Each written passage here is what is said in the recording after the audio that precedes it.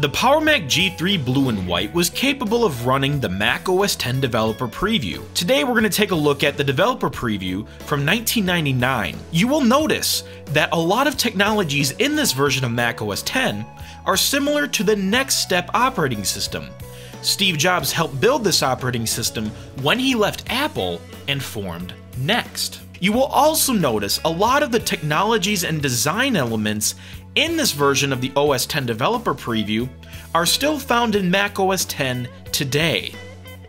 This developer preview had menus that could be torn out of the menu bar. These menus then functioned similarly to how they worked inside of NextStep. However, this feature did not make its way into the final release of Mac OS 10. Notice the opaque window movement. This was not seen in a lot of operating systems, especially in the consumer field. This file browser was part of the Workspace Manager. This entire system was later to be renamed the Finder. Many developer tools and demo applications were included with the system. People who have used Apple's more modern developer tools will realize that a lot of the ways those applications work have features and design elements that date way back to this version of the operating system. For example, this application for building interfaces was actually called Interface Builder. This name lasted for quite a long time. Across the system, the window decoration colors could be changed. Again, another feature that did not last when Apple switched to the Aqua user interface. The terminal application also functioned rather similarly to how it does today. If you remember nothing else from this tour, I want you to at least remember what Yellow Box is if you don't know already.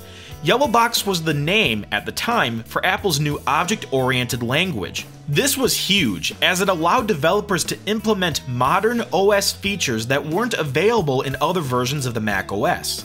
This later evolved into Cocoa, which most OS X apps run on today, and Cocoa also evolved into Cocoa Touch, which is the API framework that helps power all of those iOS applications on iPads and iPhones worldwide.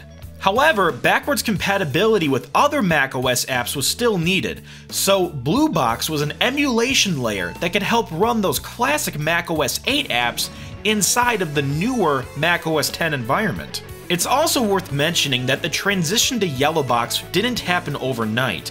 Developers needed to rewrite their applications to take advantage of the operating system's new bennies.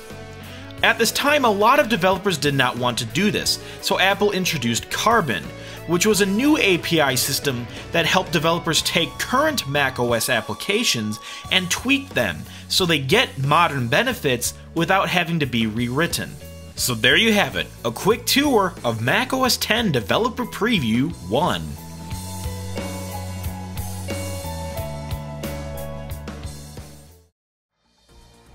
Would you like to check out our movie riffing comedy series? If so, you can watch that right here.